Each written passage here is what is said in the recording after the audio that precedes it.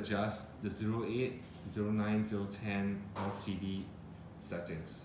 Now what you get off the box is this LCD. It's a generic LCD that is the same for 8, 9 and 10 and 10X models. Right, so uh, all the functionalities we're going to explain to you today are exactly the same. Now out of the box, of course, right, you get um, this red button here, right, press and hold to turn it on, press and hold to turn it off. Now to adjust the different speed levels, the presets, right, you get three gears here, right, you run through the modes of one, two, and three, three being the highest uh, power and one being the lowest power, right, so um, and to adjust the, to turn on and off the headlights and the rear lights, just press and hold the mode button, you'll get you know, the front lights turn on. To turn it off, same thing, just press and hold the mode button. Now to go into more detail of the different settings, right, if you want to adjust more functionalities, you go into the settings mode of this LCD. Press and hold the power button and the mode button. The first one is the LCD brightness level, right? You can toggle through the levels to adjust the LCD brightness, right? We normally keep it at one or two.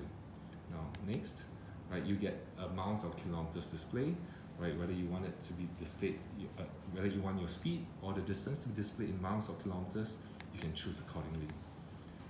Hmm? Okay, next up, P3 is the voltage level of your scooter. Now this is a 08 that we're showing, so it's a 48 volt. Now if you have a 010 or 10X, right, your settings will be set to 52 volts, right, so you can adjust accordingly. Next, right, P4, right, P4 is sleeping time. Now, you know, how, how long you want the sleeping time before the scooter shuts down with no activity. Now, every time you do not use the scooter, normally we leave it at about 12 or 15 seconds before the scooter shuts down by itself. Right, so here, here we set to a ridiculous number, 56 seconds, because we don't ever want the scooter to shut down for a time that is inactive.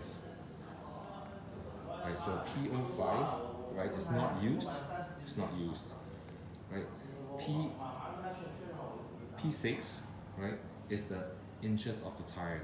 Now it's 8 inch for the 08, it should be 10 on the 010 and 10x.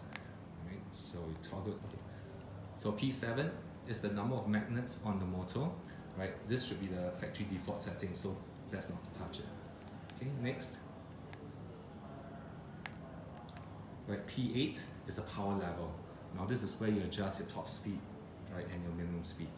Now for 100%, uh, this is it'll, it'll be the you know the, the full power of the motor. So if you want something less than full power, you can adjust it down. Right, so for P9, P9 is uh, a kickstart or a zero start. Uh, you know, if, if you find that you prefer to have a, a kickstart, you can adjust it to one. If you want a zero start, you adjust it to zero. Right, next, P10 is not being used. Right, P11 is electronic braking. Now, if you want electronic braking to be set, to be activated, you go 1. If you want it off, you go 0. Okay, P12 is uh, the starting acceleration. So if you want a very strong acceleration from uh, right from the get-go, right, you can adjust it to 5. Uh, or if you want something that's softer, you adjust it to 1. Uh, P13 is not used P14 is not used. P15, right, is the minimum cutoff voltage for the controller of your scooter. Best not to touch that because uh, leave it at, at the factory setting.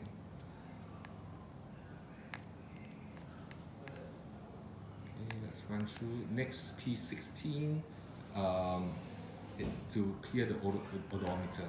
Now that's a little trick that you know you can use when we want to reset our odo. Right, P17, uh, it's a cruise mode.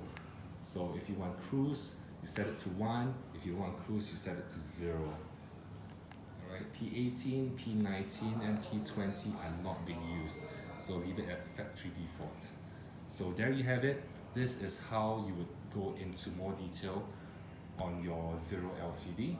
Right? For any questions, let us know. Thank you.